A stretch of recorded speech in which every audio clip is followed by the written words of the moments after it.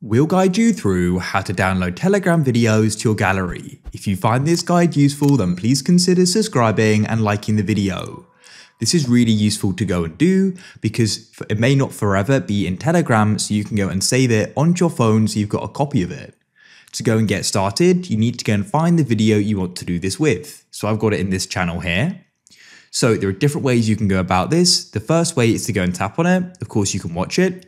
But to go and then download it, you can tap the three dots in the top right. Then you can tap on Save to Photos. I need to allow access and it will then go and be saved.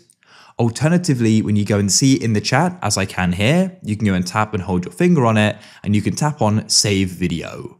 And that will go and save it to your photos as well. I've opened up my photos here and you can see it. It's in here twice as I went and saved it twice for the example.